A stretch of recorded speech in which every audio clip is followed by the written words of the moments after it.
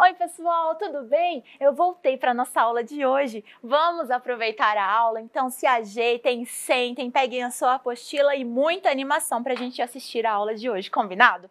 Vamos para a nossa oitava aula da unidade 4. Vamos ver qual é a nossa pauta. Olhem só mensagens sem palavras. Na hora do conhecimento, nós veremos a língua brasileira de sinais. Na apostila, nós faremos as páginas 22 e 23 e teremos a história com a caixa dos sentimentos. A tarefa será em casa 3 e a apostila na página 23. E ao final, como sempre, as dicas para a família. Mas vocês estão vendo este símbolo aqui, este sinal? Este sinal é um sinal em Libras, a língua brasileira de sinais, e ele significa eu te amo. I love you em inglês. São três letrinhas em Libras que, quando traduzidas para a nossa língua, significam eu te amo ou I love you. O I do I, o L do love e o Y do you. Ah, eu amo você. I love you. Muito legal, não é? Mas vamos começar com a retomada da tarefa. Vocês se lembram que ontem nós fizemos uma tarefa na apostila? Olhem só, era na página 21. Você e os colegas brincaram de transmitir mensagens em celulares de papelão. Escolha uma das mensagens que seu grupo enviou e registre-a. E depois, escolha uma das mensagens que seu grupo recebeu e registre-a. Vocês se lembram que ontem nós fizemos uma brincadeira para fazer a transmissão e o recebimento das mensagens? Que nós, é, nós conseguimos observar, nós conseguimos decifrar três mensagens? Muito bem. E a tarefa era para que vocês brincar, brincassem, brincassem é, com seus familiares e escrevessem e recebessem as mensagens. Vocês conseguiram fazer? E vocês fizeram o seu celular de papelão? Brincaram bastante? Muito bem. Então vamos para a nossa aula de hoje. Peguem a sua apostila lá na página 22 e vamos ver o que a página nos diz. Olhem só. Mensagens sem palavras. O beijo, o abraço, o sorriso, o aceno, o choro, os gestos, os sinais também são tipos de comunicação das pessoas quais mensagens as crianças destas imagens estão comunicando. Observem aqui na tela e na sua apostila essas imagens de crianças. O que será que elas estão comunicando? Nós vimos no texto que beijo, abraço, sorriso, aceno, choro, os gestos, o que nós fazemos com a mão, a maneira como nós falamos, o rosto, né, o semblante, as nossas expressões também são tipos de comunicação, são muito importantes. Vejam as crianças, olha essa daqui, ela está fazendo assim, o que será que ela está dizendo? Será que ela está falando assim, o quê? Será que ela está brava? Será que ela está perguntando alguma coisa? E essa aqui, está dando risada, apontando? que será que ela está dizendo? Olha essa daqui, está mandando um beijo. Vocês perceberam como a gente consegue entender a mensagem, entender o que a pessoa está dizendo apenas pelos gestos, apenas pelas expressões dela? Isso é muito legal porque também é um meio de comunicação. Olhem esse daqui, está fazendo assim. O que, que será que ele disse, hein? Hum, será que você fez uma arte e eu te peguei? Olha essa daqui está acenando. Tchau, tchau, vou embora. Olhem só, que mensagens as crianças estão transmitindo. Então vocês viram que elas estão transmitindo várias mensagens, inclusive vocês podem transmitir várias outras utilizando apenas os gestos. Às vezes nós nos comunicamos através de palavras, mas nós também nos comunicamos muitas vezes apenas por meio de expressões e por meio de gestos, ou todas as coisas juntos. Eu converso fazendo expressão e fazendo muito gesto, não é? Muitas caretas. Olhem só. E nós conseguimos nos comunicar sem utilizar palavras? Conseguimos. Quando a gente está falando de alguma coisa muito feliz e muito legal, a gente faz uma cara de animado. E quando a gente está falando de uma coisa triste, a gente faz uma cara de tristeza. E se a gente está bravo, vocês fazem uma careta de bravo também? E isso são os gestos, as expressões que ajudam a nos comunicarmos uns com os outros. Você se comunica a partir de gestos? Ah, eu acho que sim, não é? Quando vocês estão brincando com, as, com seus amigos, vocês se comunicam, não é? Quando vocês querem pedir uma coisa para os pais de vocês, vocês também fazem uma carinha, né? Tenho certeza. E quando vocês estão chorando, hum, vocês também se comunicam através de gestos, de expressões. Olhem só, nós podemos dar um beijo, dar um abraço, nós podemos acenar, nós podemos conversar, mas percebam aqui que nós temos alguns gestos diferentes. O que são esses gestos? Parece que essas pessoas estão conversando com as mãos. É isso? Isso mesmo, elas estão conversando em Libras, na língua brasileira de sinais. Agora nós vamos para a hora do cinema com a Caixa dos Sentimentos. Acompanhem que daqui a pouco eu volto para a gente conversar um pouquinho, tá certo? Hora do cinema, pessoal! aí,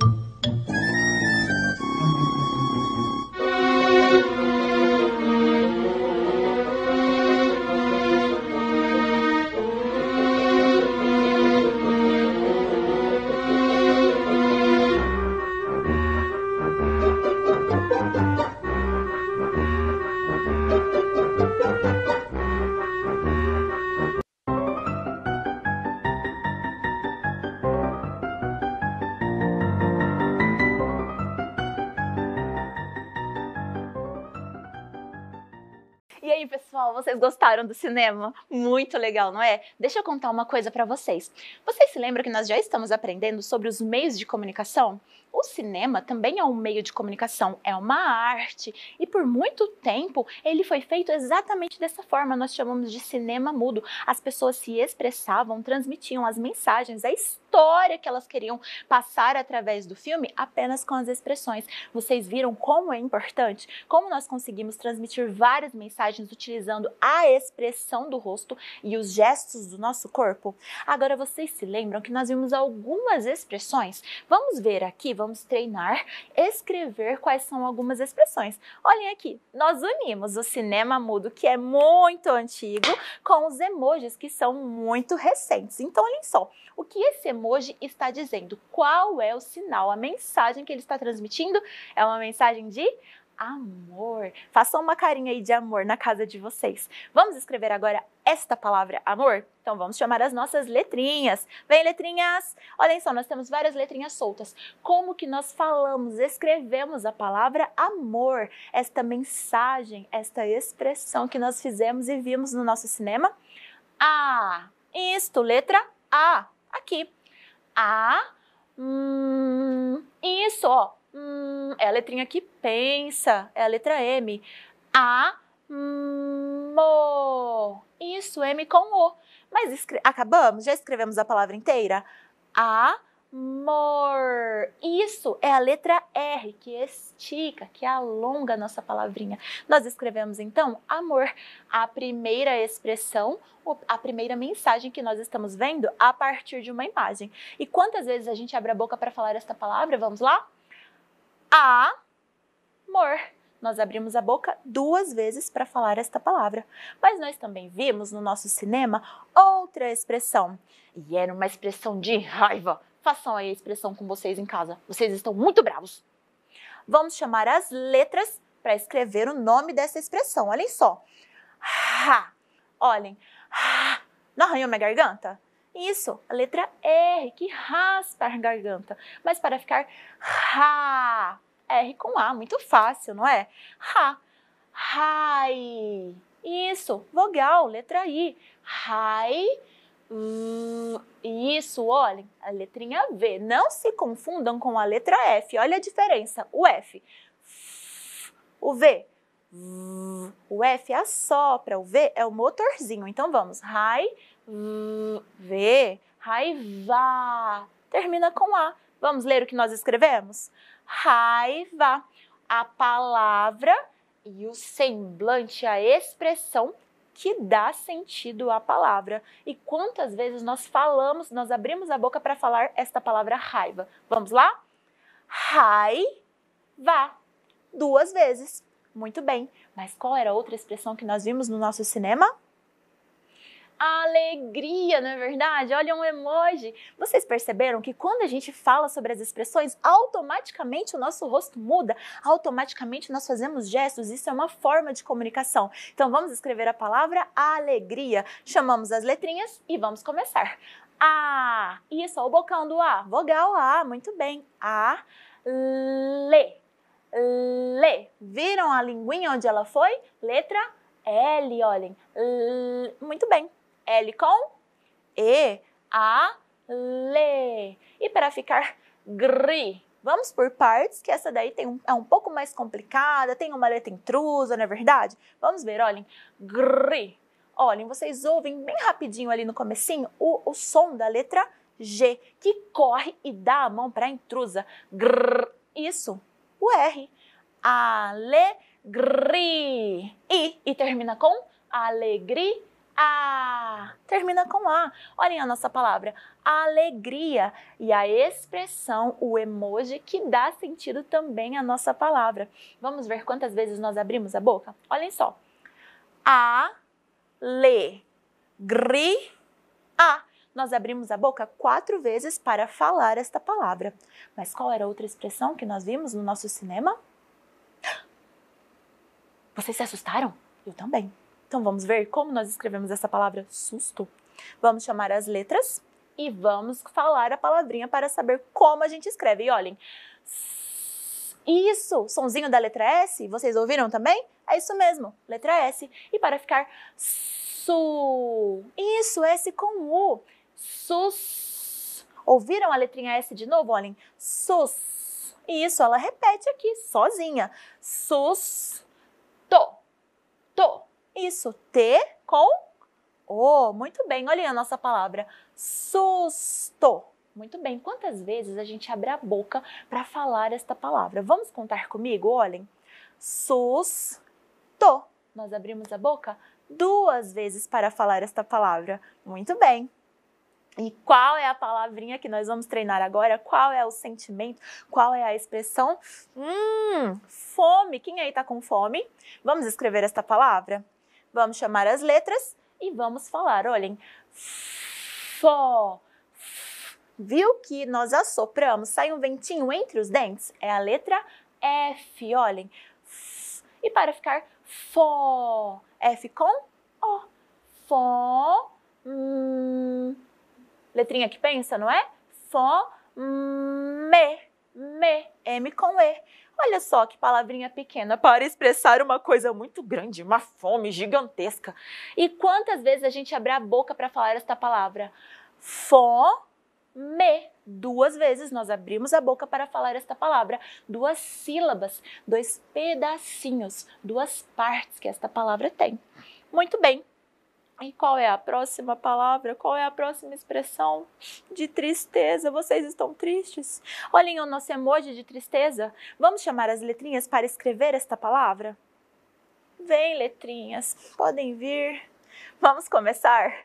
Tri nós temos a letra T que corre da mão para uma expressão. O que corre da mão para uma outra para uma outra letra intrusa. A professora ficou tão triste que se confundiu. Ó, T com R e para ficar tri dá a mão para o I. Mas a gente não fala tristeza, nós falamos tris. Tris. Olha o sonzinho do S. Tris. T.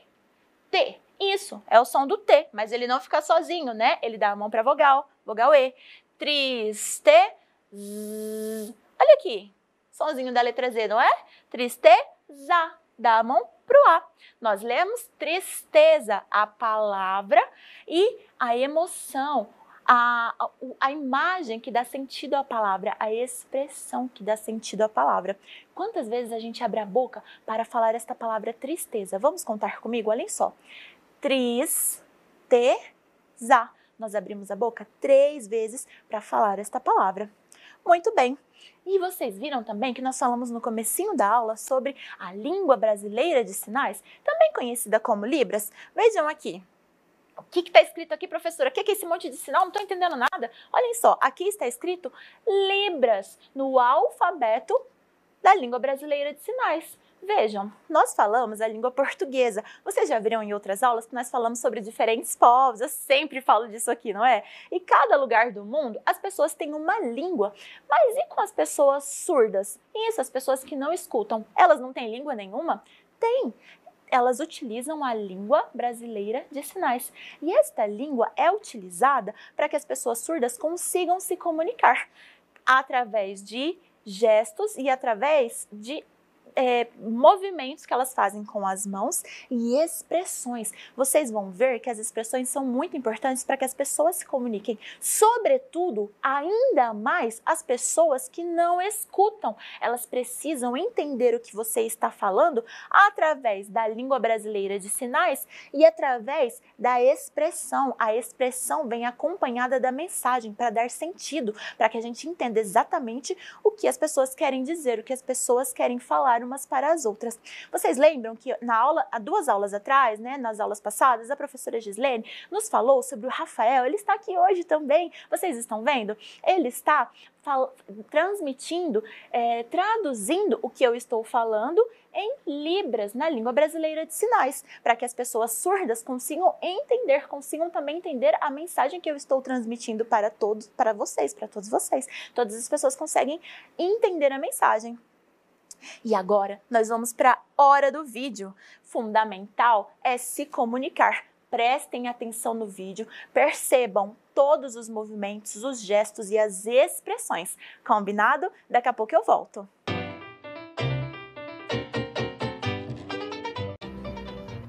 Houve uma época nesse mundão que conhecemos que era tudo diferente das coisas que hoje vemos.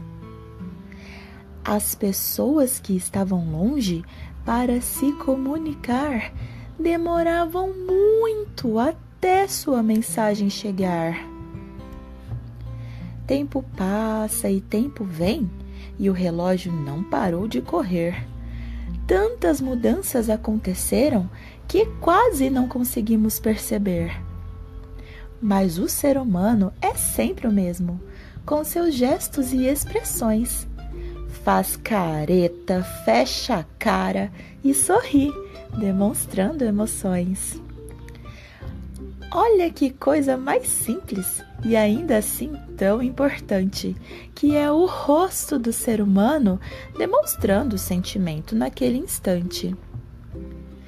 A gente faz cara para tudo alegria, tristeza, dor. Dá sorriso e sente raiva, mas também sabe demonstrar amor.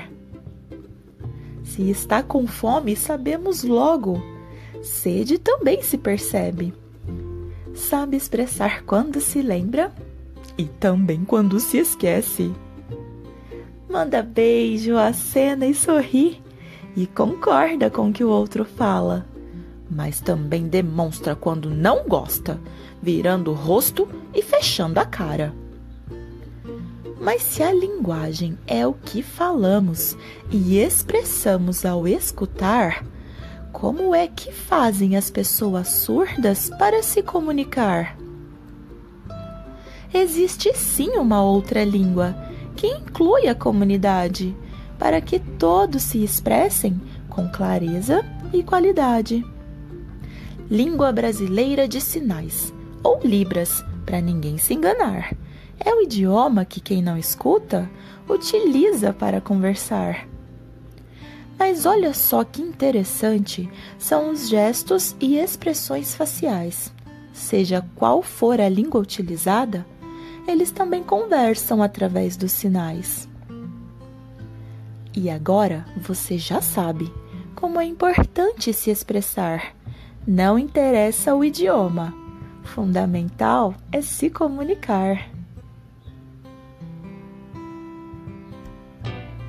E aí, vocês gostaram da história? Vocês viram que interessante e quão importante é a língua brasileira de sinais para que as pessoas surdas consigam também conversar e se comunicar umas com as outras? Muito bem. E agora nós vamos ver um mundo cheio de invenções. Vocês perceberam que até aqui nós aprendemos muito sobre a evolução do ser humano, sobre as suas mudanças, as suas transformações e as suas invenções. Como as invenções modificaram o mundo em que o ser humano vive e como elas foram criadas, inventadas, imaginadas pelo ser humano para que facilitasse a vida dele. Né? Nós vimos que o ser humano teve várias ideias e começou a inventar várias coisas, inclusive os meios de transporte para facilitar a sua vida, para que ele conseguisse chegar aos lugares mais rapidamente. E dessa forma, parece que o mundo ficou muito menor, porque as pessoas conseguem viajar longas distâncias em um tempo muito curto. As pessoas conseguem conversar com outras que moram muito longe ao mesmo tempo. Então parece que o mundo reduziu o tamanho, porque as, a, os nossos contatos, a nossa conexão, a nossa comunicação ficou muito mais fácil, muito facilitada. Vocês perceberam? E nós aprendemos que, nós, que o ser humano já inventou várias coisas: os meios de comunicação, os meios de transporte e tantas outras que nós vamos estudar mais à frente. E como as mensagens são importantes, tanto aquelas que nós falamos quanto aquelas que nós escrevemos e também as mensagens que nós transmitimos através dos gestos, dos sinais e das expressões. E agora, pessoal, nós vamos para a hora da tarefa e serão duas tarefas: o em casa 3 e a apostila lá na página 23. Vamos ver o em casa 3. Olhem só: Invenções para o futuro. Você conheceu várias invenções humanas que mudaram o jeito de viver das pessoas. Escolha uma delas e imagine como será essa invenção no futuro. Por exemplo, como será a bicicleta do futuro? Ou o ônibus ou o computador. Desenhe ou faça uma colagem para retratar sua ideia. Ao final, escreva o nome dessa invenção. Então vejam, nós aprendemos várias invenções, meios de transporte, meios de comunicação e tantas outras. Então agora vocês vão imaginar como seriam essas invenções, como será que elas serão modificadas. Vocês vão fazer um desenho ou recortes ou colagens da melhor maneira que vocês puderem e souberem e vão escrever o nome aqui. Não esqueçam de colocar o nome e a data, tá certo? E aqui na apostila, página 23, olhem só inventando objetos. Você aprendeu muitas coisas sobre várias invenções que mudaram o jeito de viver nos seres humanos. Que objeto ainda não existe e você gostaria que existisse? Faça um desenho para representar a sua ideia. Então agora vocês vão usar a sua imaginação, vão voar no tapete voador e vão inventar alguma coisa nova. O que vocês gostariam que existissem em? Será um meio de transporte? Será um meio de comunicação? Qual será a sua imaginação, sua invenção? Façam o desenho da invenção que vocês imaginarem da melhor forma possível. Não se esqueçam de colocar todos os detalhes. Lembram que a gente sempre fala? Todos os elementos, o que tem em volta, como é esse desenho, essa invenção, as cores que vocês têm disponíveis, usem-as todas para que o desenho fique bem colorido, bem bonito, tá certo? Usem a sua criatividade. Vocês vão colocar o nome e a data na página e vão mandar para sua professora, tá certo? E agora, as dicas para a família. Olhem só. É muito importante que a língua brasileira de sinais seja incluída na vida da criança. Na infância, há uma maior facilidade de se aprender uma nova língua, como a Libras. Assim, elas poderão se comunicar com as pessoas surdas, facilitando a inclusão da comunidade surda na sociedade. Pesquise em seu bairro. Em várias comunidades há o ensino da língua brasileira de sinais. Pode haver uma comunidade surda próxima a você. Lembre-se, o importante é se comunicar, não importa a língua, não é verdade? E por aqui eu me despeço. Eu espero que vocês tenham gostado da aula. Nós nos vemos outro dia. Fiquem com Deus, um beijo e até mais. Tchau, tchau!